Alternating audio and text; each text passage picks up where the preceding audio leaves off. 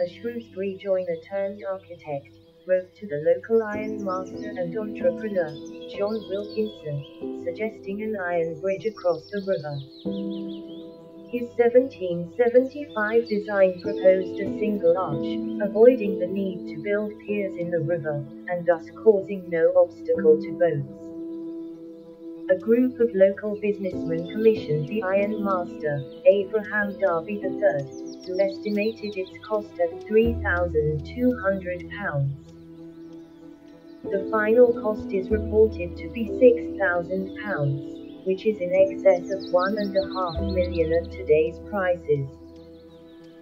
Work commenced in 1777, and the world's first iron bridge was finally erected over the River Severn, at Coalbrookdale in 1779.